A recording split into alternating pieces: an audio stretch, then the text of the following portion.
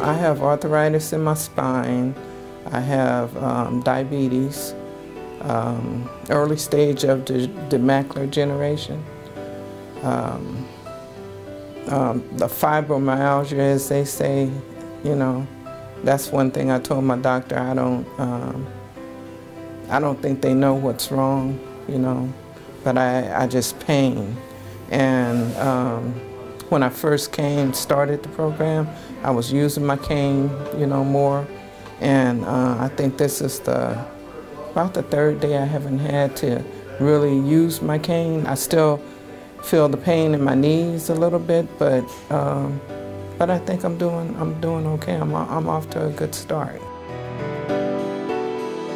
I had um, told my husband that I I told the Lord that um, my body was in His hands, you know, and for me to lose weight and for health, and, and then the program came up, you know, so I, I, I jumped at it.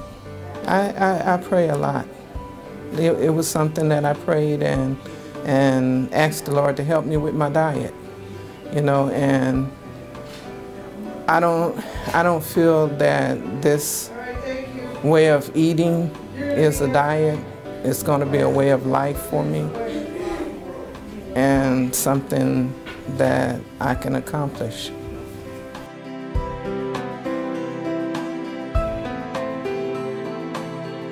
Sylvia was seriously considering uh, gastric bypass, and uh, you know that has all kinds of negative uh, uh, concerns for me, and and I'm sure for Sylvia, even though she felt that was her last resort.